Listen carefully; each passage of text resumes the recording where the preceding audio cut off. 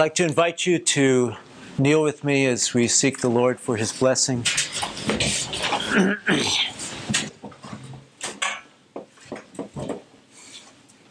Our Father in heaven, we are grateful for thy loving kindness. We're grateful for your promises. And especially tonight, we think of your promise that where two or three are gathered together in your name, you're in the midst. And we, we claim that promise and we pray for your blessing of, of that presence to reach our hearts, to feed us with the living manna, and give us receptive hearts and minds, clear minds, and we pray that you will draw us into a sacred nearness to yourself. And we pray in Jesus' name. Amen. Amen. Tonight's topic is on Revelation chapter 13. we're going to be seeing some of the, uh, we're going to be following in the same line of, of thinking, the same line of, of thought as we began last night with Daniel 7 and 8. In Revelation chapter 1, verse 3, we read, Blessed is he that readeth, and they that hear the words of this prophecy and keep those things which are written therein, for the time is at hand. So there's a special blessing on those that read and understand and keep the things that are written in the book of Revelation. It's not a sealed book. It's not a book that um, there is a reason for the the things that were written in Revelation, and it's meant for us to understand it. In the book of Revelation, we find Jesus represented um, as a lamb having been slain. We read here, and one of the elders saith unto me, Weep not, behold, the lion of the tribe of Judah, the root of David, hath prevailed to open the book and to loose the seven seals thereof. So he's called a lion, he's called a lamb as well. And I beheld, and lo, in the midst of the throne and of the four beasts, and in the midst of the elders stood a lamb as it had been slain, having seven horns and seven eyes, which are the seven spirits of God sent forth into all the earth. And they sung a new song, saying, Thou art worthy to take the book and to open the seals thereof, for thou wast slain and hast redeemed us to God by thy blood out of every kindred and tongue and people and nation. So, so Christ himself is symbolized here um, first as a, a lion and then as a lamb with seven horns and seven eyes. We also find in the book of Revelation a beast with lamb like horns representing a nation with Christian principles. We will find that the dragon, a dragon is, is portrayed, which represents Satan. We read here in Revelation 12 9, and the great dragon was cast out, that old serpent called the devil and Satan, which deceiveth the whole world. He was cast out into the earth, and his angels were cast out with him. So the devil is represented as a dragon here in Revelation. And following suit, we find a seven headed dragon representing a nation that Satan would especially use. So, um, the, the symbology throughout the book of Revelation is consistent. And we read from J.N. Andrews in his book um, on the three angels of Revelation, the seven heads of this beast, and, and we're going to be talking more about that in a moment, reading from the scriptures. But the seven heads are seven forms of civil power which successively bear rule. These seven heads belong alike to the dragon of chapter 12, the beast of chapter 13, and that of chapter 17. This shows conclusively that the dragon and these two beasts are symbols of the same power under different heads, for there are not three sets of seven heads.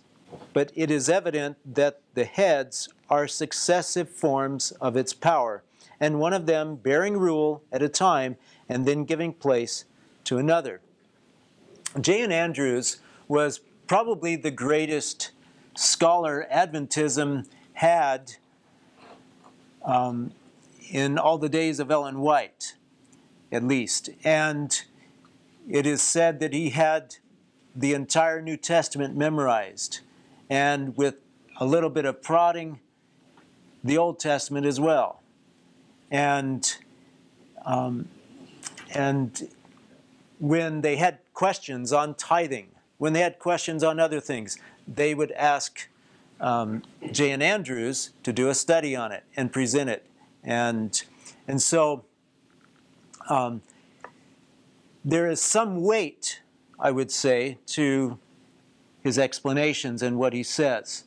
And, and he is telling us here what, what should make sense, I believe, is that there's not three different nations or three, three different, um, there's, there's not um, symbols here in Revelation 12, 13, and 17 with, of three different beasts with seven different heads representing 21 different, different nations. That doesn't make any sense especially when we find four nations mentioned in Daniel.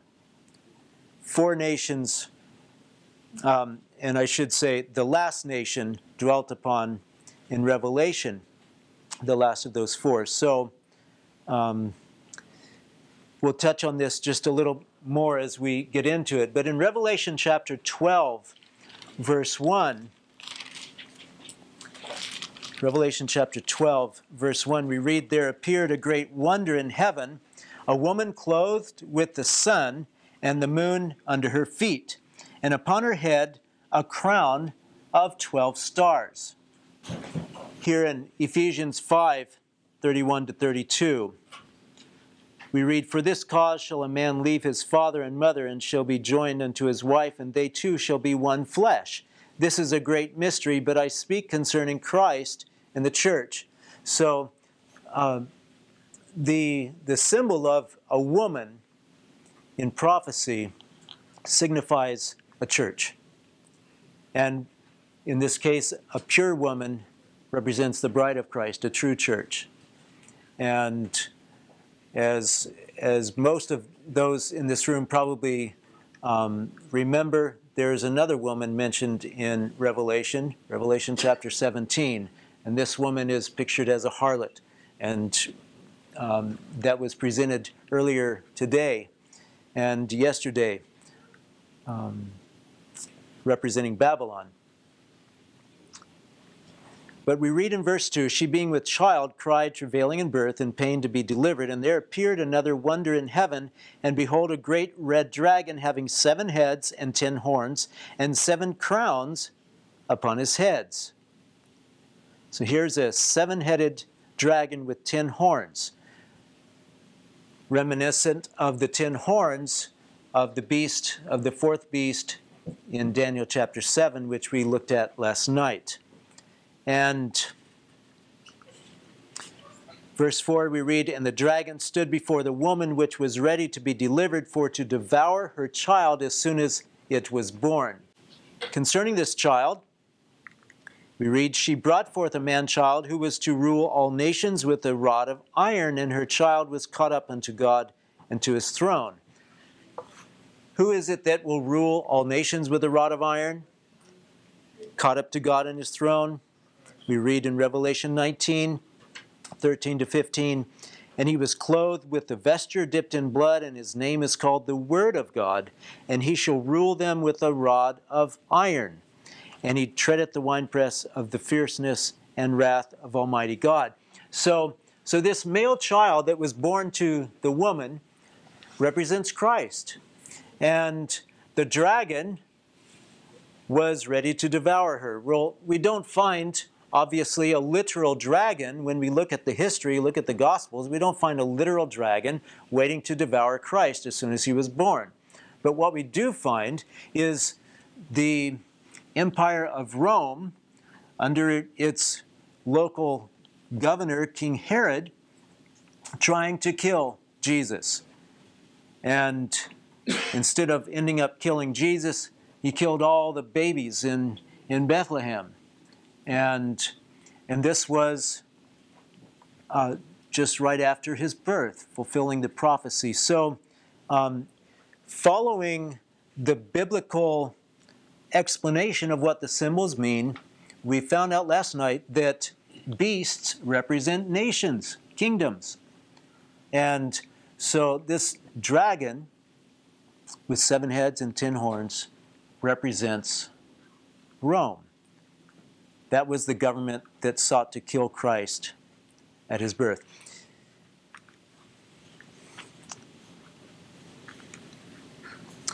In the time of John, bear in mind that it's about 600 years after Daniel was written. Babylon, Medo Persia, Greece, and Rome, or Greece, Babylon, Medo Persia, and Greece have all come and gone off the scene. And now John is living in the time of Rome. Rome was still to rule in its pagan form for another almost 500 years, and in its papal form for a couple of thousand years. And so Dan, um, God does not reveal to John things concerning Medo Persia and Greece, but he does reveal to him things relating to Rome, pagan and papal forms of Rome. And when we read here the date 476, this is when, when Rome was divided. But that's not the end of Rome. Rome continued in its divided state. Now it was papal Rome, the Holy Roman Empire, as it's called in history books. Far from being holy, however.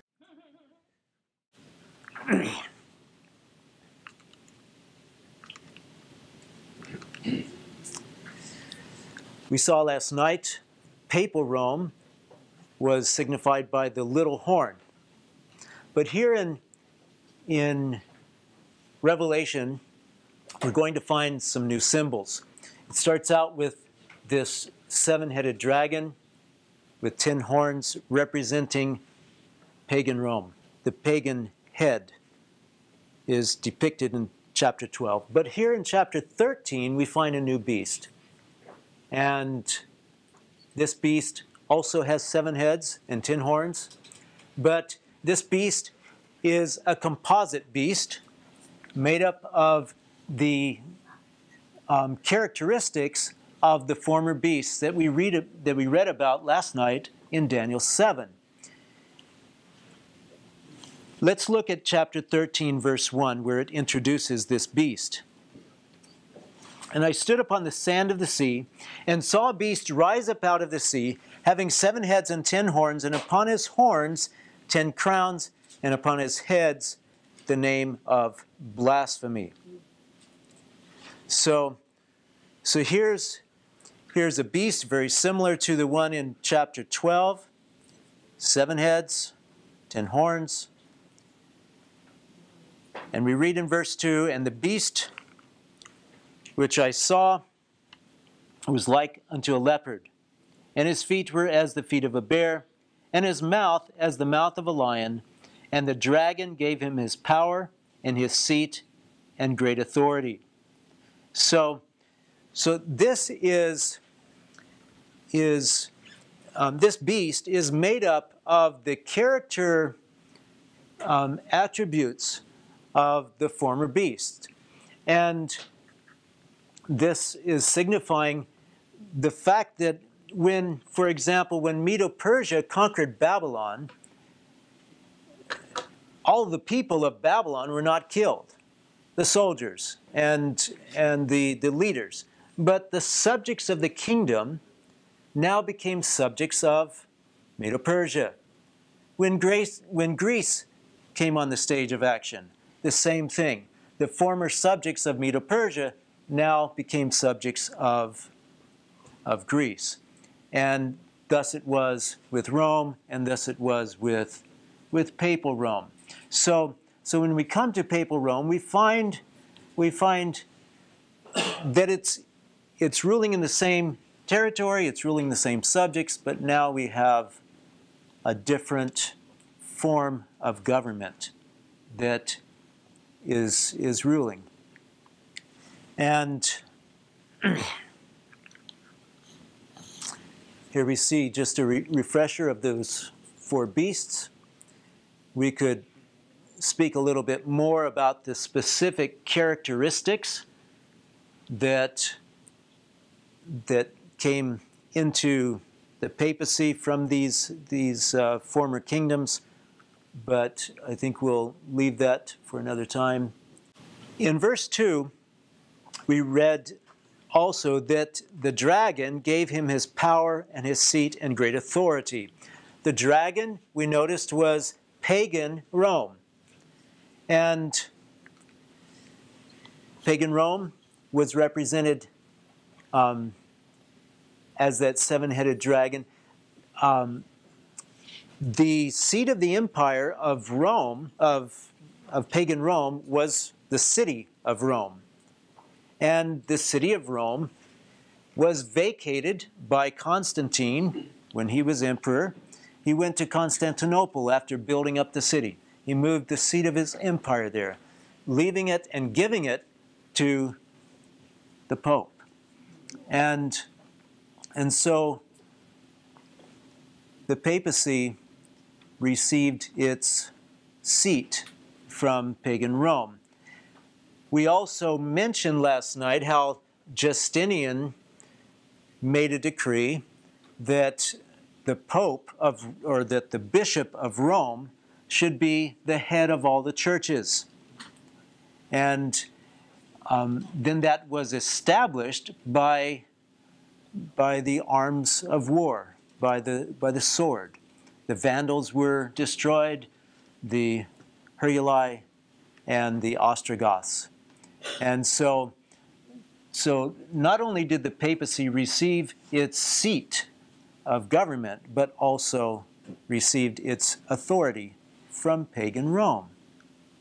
James Wylie, historian, he says the removal of the seat of empire from Rome to the splendid city on the Bosphorus, Constantinople, which the emperor had built with becoming magnif- magnificence for his residence, also tended to enhance the power of the papal chair.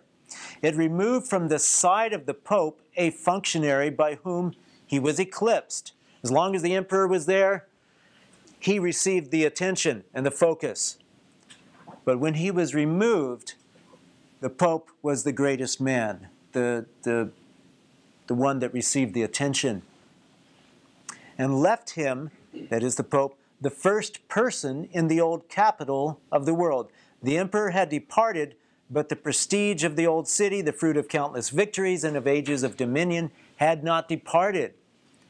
The contest which had been going on for some time among the five great patriarchs, Antioch, Alexandria, Jerusalem, Constantinople, and Rome, the question at issue being the same as that which had which provoked the contention among the disciples of old, which was the greatest, was now restricted to the last two Constantinople and Rome. The city on the Bosphorus, the Constantinople, was the seat of government and the abode of the emperor. This gave her patriarch powerful claims.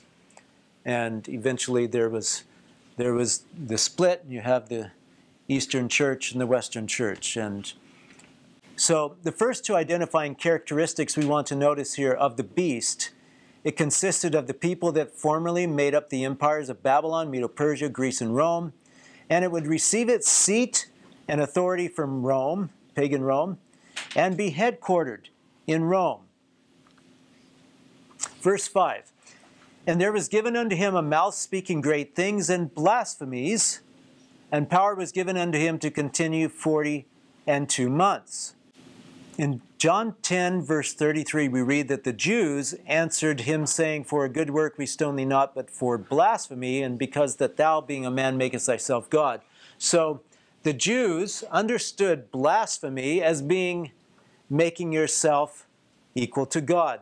We noticed briefly last night um, this point. Also in Mark chapter 2, verse 7, why did this man thus speak blasphemies? Who can forgive sins but God only? So once again, we find blasphemy is, is taking the prerogatives of God, in particularly here, the prerogative of forgiving sins. Has the Catholic Church done that? We don't even need to show you any evidence. You just walk into the church and see the confessional to know that that's true. Here we read, we teach and define as a divinely revealed dogma that when the Roman pontiff speaks ex cathedra, etc., and we read this last night, they claim infallibility.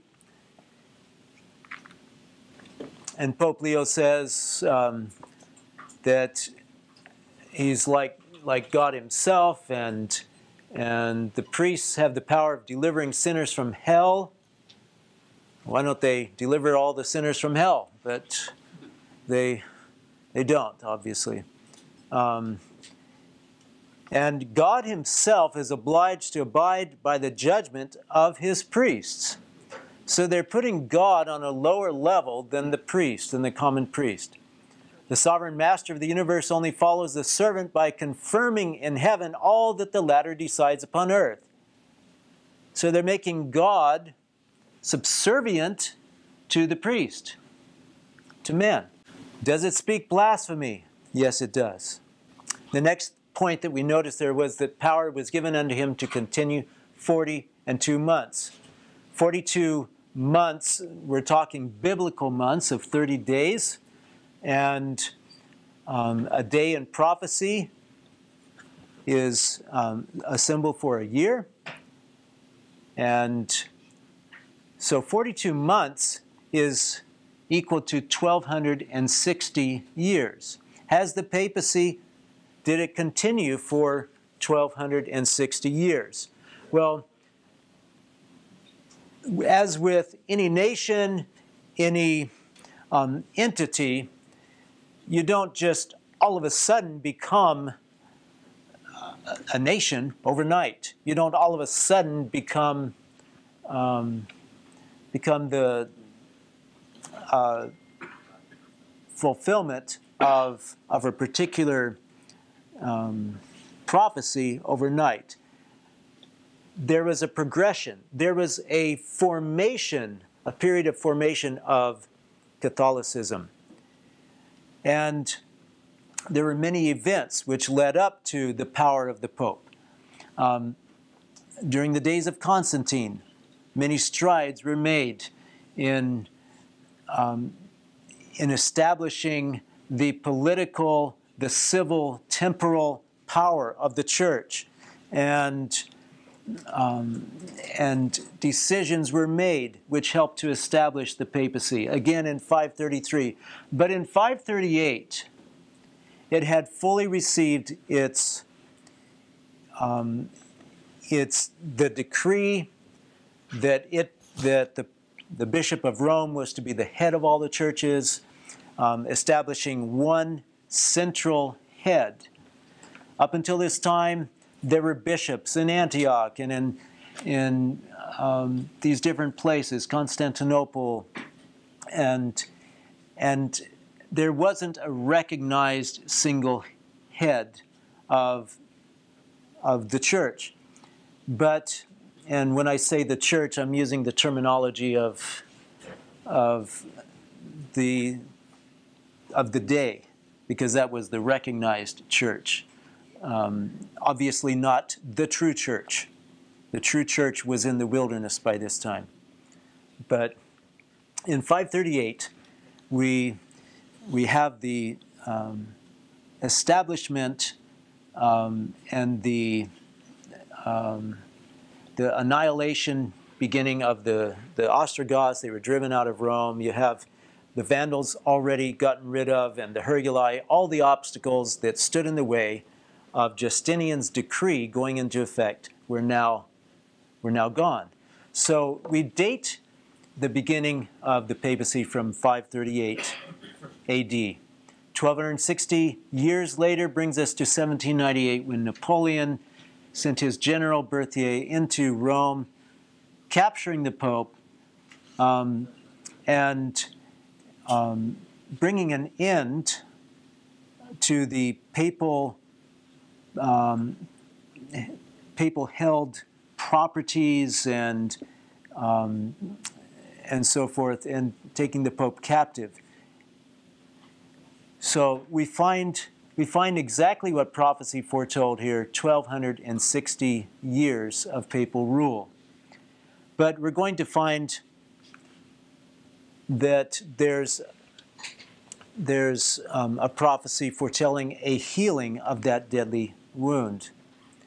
Um, so the fourth characteristic is that it would continue to have its temporal power for 1260 years. In verse 7, we read, It was given unto him to make war with the saints and to overcome them, and power was given him over all kindreds and tongues and nations. Now, this is looking very much, almost virtually identical to the description of the little horn that we find in Daniel 7. And that's because it is talking about the identical power as, as the little horn of Daniel chapter 7. And we read here that it was to make war with the saints and overcome them. So God foresaw the, the countless persecutions and, and the, um, the martyrs that would give their lives for him.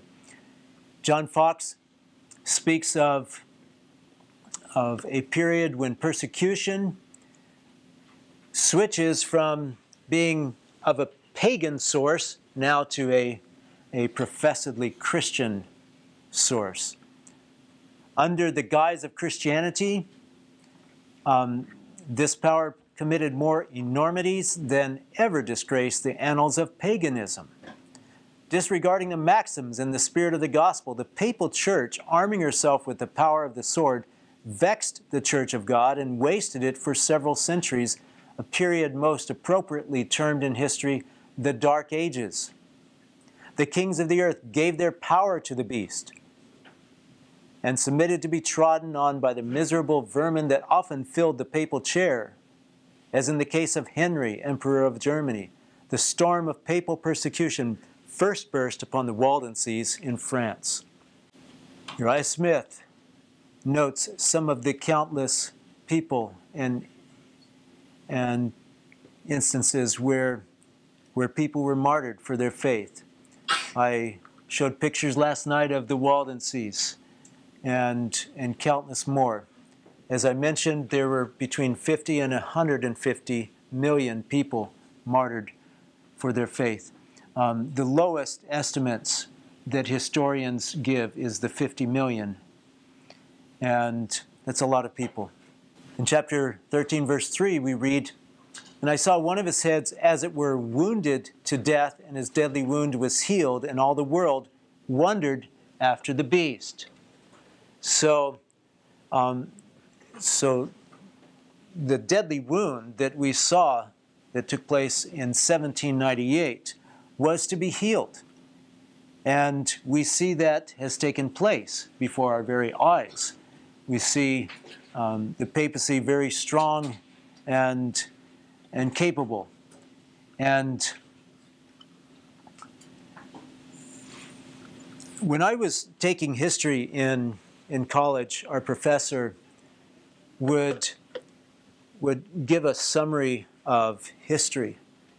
And then he would come back to the same time period and deal with, with England, come over here and deal with Scotland, and over here and, and deal with, with Ireland, and, and on and on and on, and deal with different um, countries or different aspects. You can't just be relating the history of some individual and tell at the same time everything that's going on with all the other individuals in history, the other kings, the other nations. So you go through a little ways and you come back. And you go through a little ways and come back. And so you're dealing with, with the different details in history. And that's what we find here in Revelation 13 as well.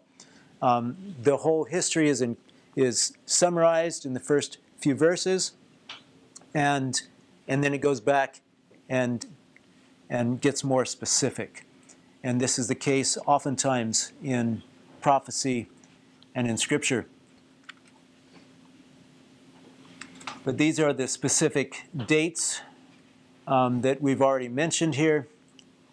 And in Revelation 13, verse 10, we read that he that leadeth into captivity shall go into captivity. He that killeth with the sword must be killed with the sword.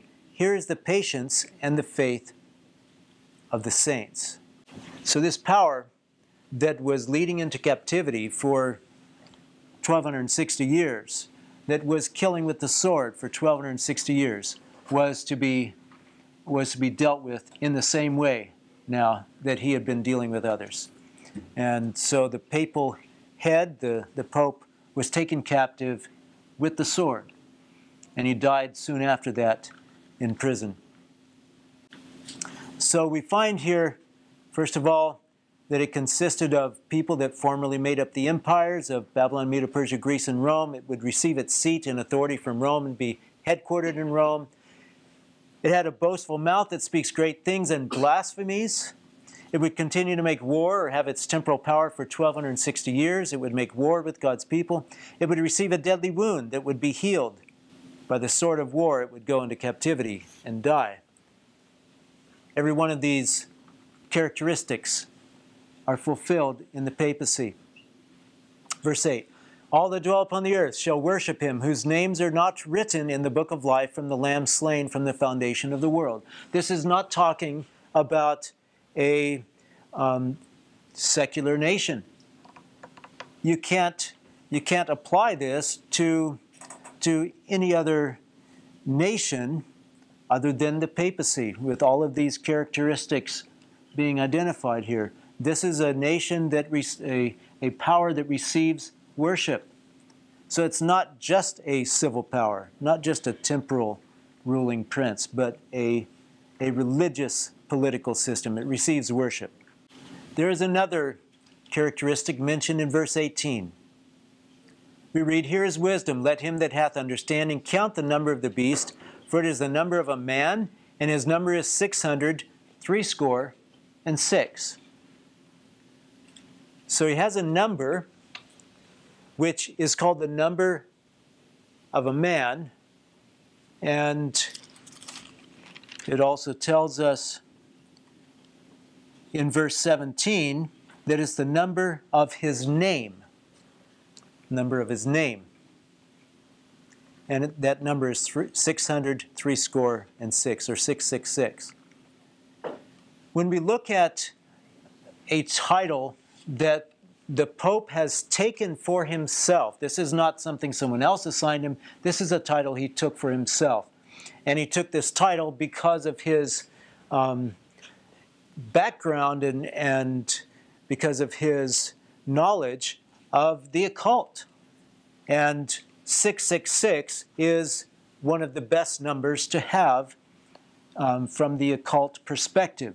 I was at a health booth in Vancouver, British Columbia, and somebody, um, and there was a table just across from us that was, um, they had their uh, dis- description of who they were on a sign in front of their table saying um, Kabbalism. And they were into looking at the number of that your name added up to and saying, oh, you need to change your name so you can have more luck, you, so that you can have a better life because that will set your destiny and, and this sort of thing. And this is how it was viewed in those days. So he took a, a name that added up to 666. And in fact, there's there's three or four names that they have taken, all adding up to 666. This is one of them, Vicarius Filii Dei. And in Latin, the letters have a numerical value. Um, in my day, we still learned Roman numerals. And I don't think it's taught anymore in the schools now. But um, the V is 5. Also, a U is 5. U and the V were actually um, interchanged, um, interchangeable. And the, the I represents 1. The C is 100. Um, a and R are nothing. And L is 50. D is 500. So adding all of these up, we come to 666, just like prophecy said. There is, there is no getting around all of these character traits, all of these characteristics that are mentioned in Revelation 13. The, this beast with seven heads is clearly identified. There's no other, no other power in the world that has been seated in Rome, received its authority from Rome, arose at the time that Rome was being scattered. His name adds up to 666, etc., etc., etc., all of these different characteristics. We read this last night. He sits in the temple calling himself God. Revelation 13, verse 11, tells us about another power coming on the stage of action. At the time when the first one is being taken captive. Immediately after verse 10, we read verse 11 I beheld another beast coming up out of the earth. And he had two horns like a lamb, and he spake as a dragon. This beast doesn't arise in a place that's, that's inhabited by other nations and, and peoples, and um, it doesn't arise in a, in a populated place as we saw the other beasts arising from the sea. It didn't arise where the, where the four winds were blowing on the sea. It didn't arise from, from um, war and, and strife and bloodshed. It was silently growing into a nation. There's only one nation that fits these character traits a nation with lamb like horns, a nation that was a Christian like nation built upon Christian principles, particularly the principles of religious and civil freedom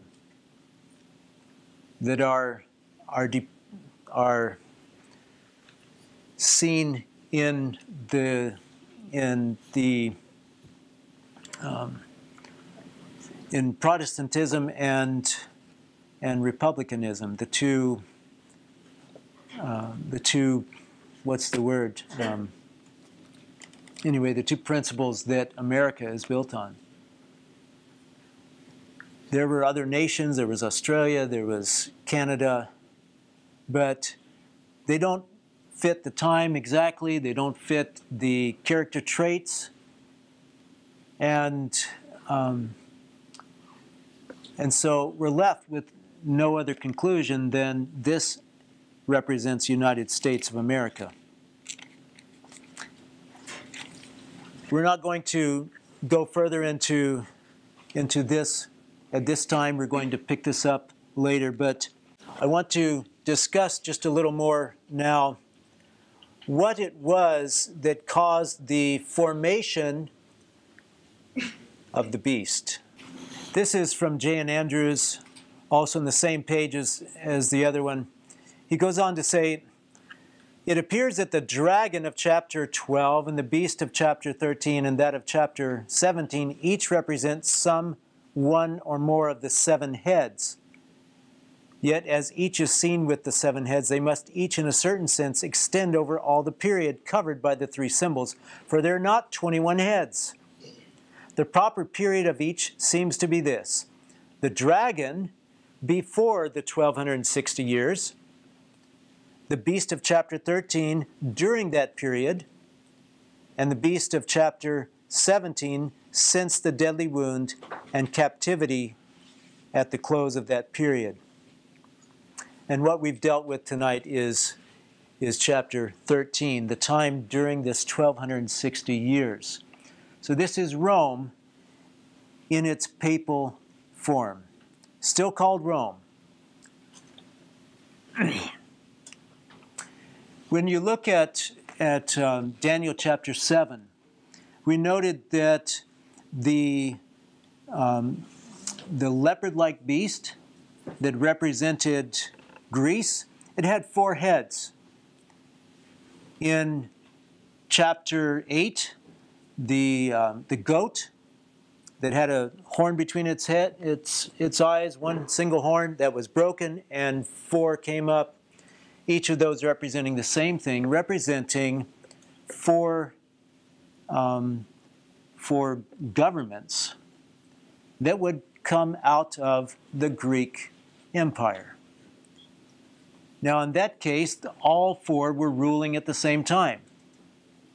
But Revelation chapter 17 points out that these would be consecutive. But um, that's all I will say on that topic because that's, that's um, dealt with in, in chapter 17, and we're dealing with chapter 13. But um, what I want us to do now is, and you'll see the reference here in a moment on the following slides. Um, this tells us about the, the formation of the papacy. Looking back at this stage to the change which had come over the church, we cannot fail to see that its deepest originating cause must be sought in the inability of the world to receive the gospel in all its greatness. It was a boon too mighty and too free to be easily understood or credited by man. The angels in their midnight song in the Vale of Bethlehem had defined it briefly as sublimely goodwill to men. Its greatest preacher, the Apostle Paul, had no other definition to give of it. It was not even a rule of life, but grace, the grace of God, and therefore sovereign and boundless. To man fallen and undone, the gospel offered a full forgiveness and a complete spiritual renovation, issuing at length in the inconceivable and infinite felicity of the life eternal. But man's narrow heart could not enlarge itself to God's vast beneficence a good so immense, so complete in its nature, and so boundless in its extent, he could not believe that God would bestow without money and without price. There must be conditions or qualifications. So he reasoned. And hence it is that the moment inspired men ceased to address us, when was that? The moment inspired men cease to address us, remember he's talking about the history of the rise of the papacy. When did inspired men cease to address us?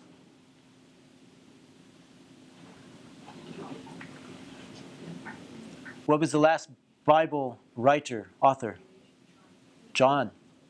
When John died, when John ceased, John was the last of the apostles alive. The last book in our Bible is Revelation.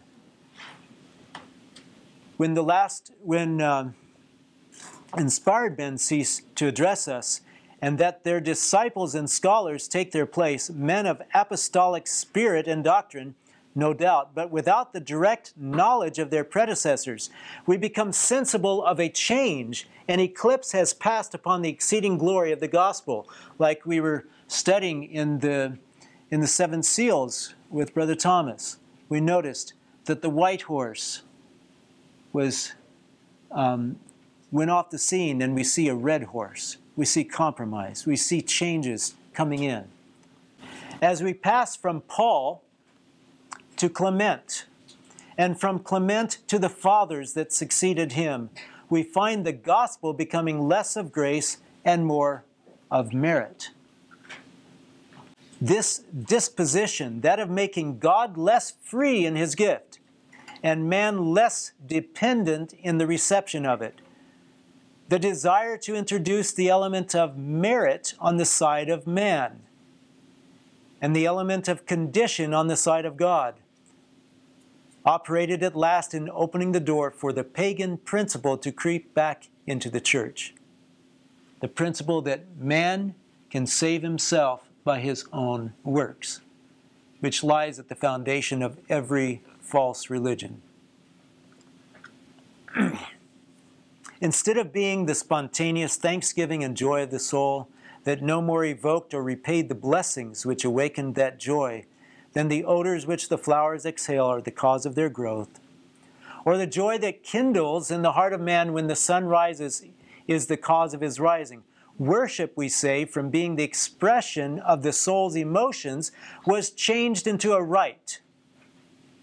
A rite akin to those of the Jewish temples and still more akin to those of the Greek mythology, a rite in which lay couched a certain amount of human merit and inherit efficacy. Remember Cain and Abel. Cain brought an offering, he was worshiping, but it was a bloodless offering. It was an offering that failed to recognize his Savior and his need of a Savior that partly created, partly applied the blessings with which it stood connected, this was the moment when the pagan virus inoculated the Christian institution. This change brought a multitude of others in its train.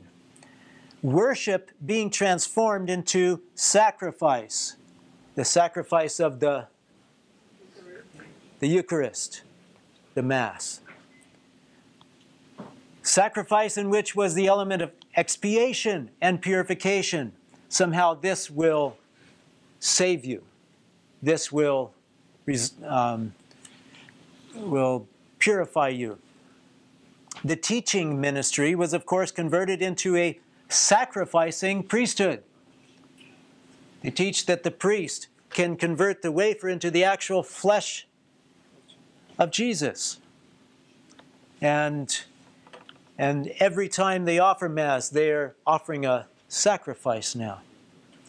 When this had been done, there was no retreating. A boundary had been reached which could not be recrossed till centuries had rolled away, and transformations of a more portentous kind than any which had yet taken place had passed upon the Church. History of Protestantism. I know there was a lot of reading and a little bit flowery language. But in essence, it's telling us that, that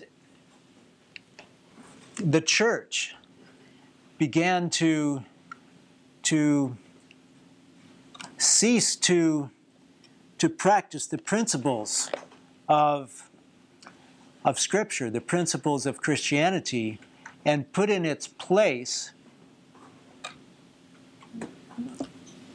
things that would of man's creation. Things that, that were meant to, to merit salvation. And I want to show you a, a video which was, we were on our way to a camp meeting, pretty shocking, um, just a couple of months ago, maybe three months ago. And this is what we saw.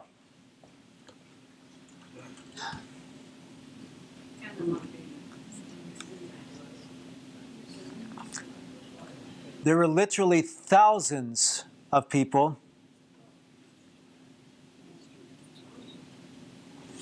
marching on the streets everywhere, all over Philippines. They were beating themselves. You can see the blood pouring down their backs. They were carrying crosses, and many were, were having themselves nailed onto crosses.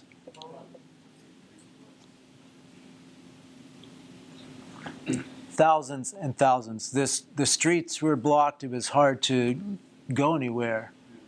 And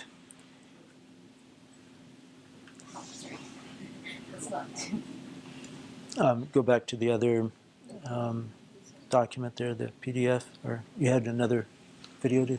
Yeah, that's fine. In the Review and Herald, we read that several have written to me requiring, inquiring if the message of justification by faith is the third angel's message. And I've answered, it is the third angel's message in verity.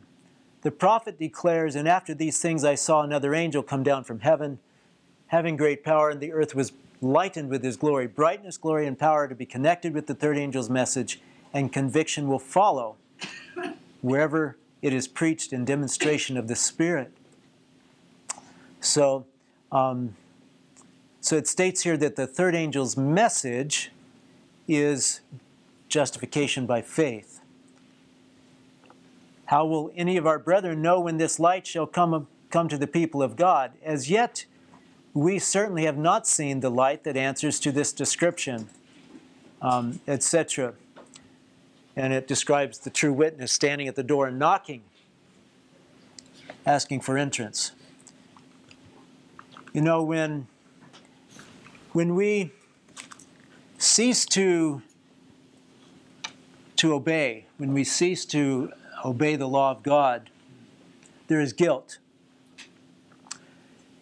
In order to, to get rid of the guilt, then we begin to think of things that we can do to get back in favor with God. And so we create all of these things of our own creation, just like Cain bringing fruit. God never said, bring fruit. But Cain brought fruit, thinking he was going to satisfy God with his own ideas. In that video we saw, in the video we saw, God never said to beat yourself.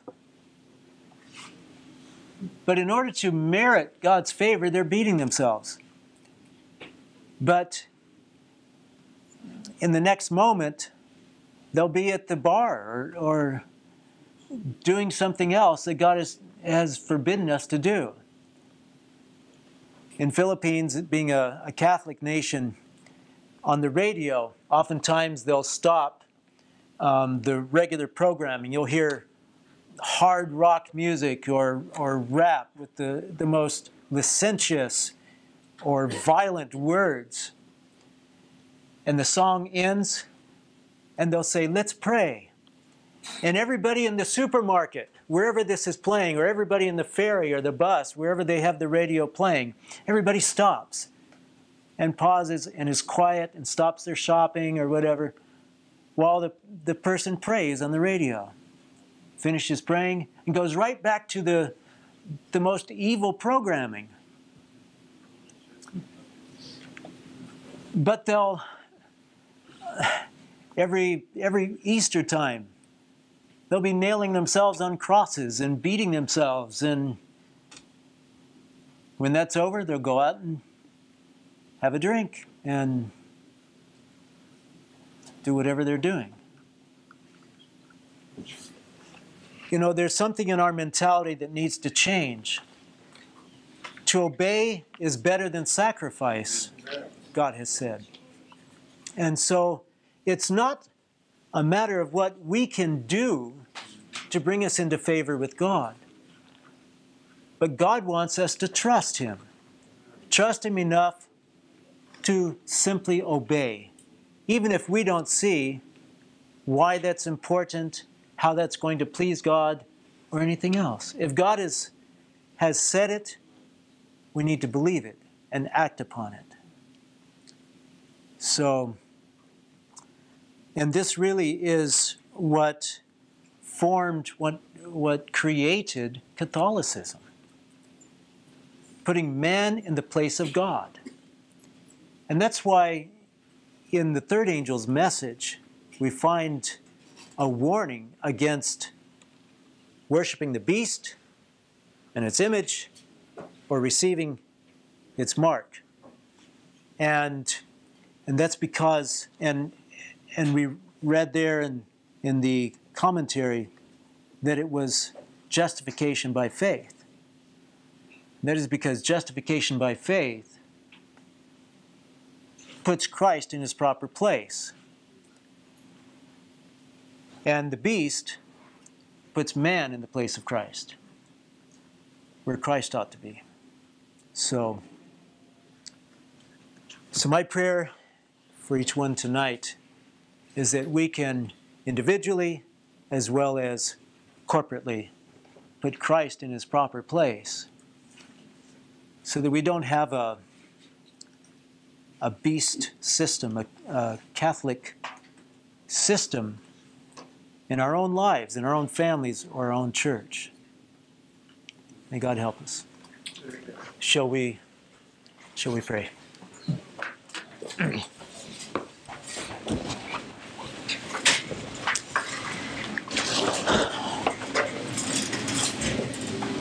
Our Father in heaven, as we have considered the, the formation of, of the beast tonight, what made the beast what it was, what made the papal system so evil that you have spoken about it so much in prophecy. I pray that you will make these things more clear in our minds. Help us to, to see the, the principles that underlie this system and, and avoid them in our own lives, our own dealings, in our own church. And I pray that those that are still deceived, those that are in darkness about this, this system that is seeking to gain control once again of the world, I pray that you will, will deliver us from that and, and strengthen us so that when the trial comes, when, when our life perhaps is on the line or, or our, our bread and, and water, that we will trust you for those things and put you first in our lives. And we pray these things in Jesus' name. Amen. Amen.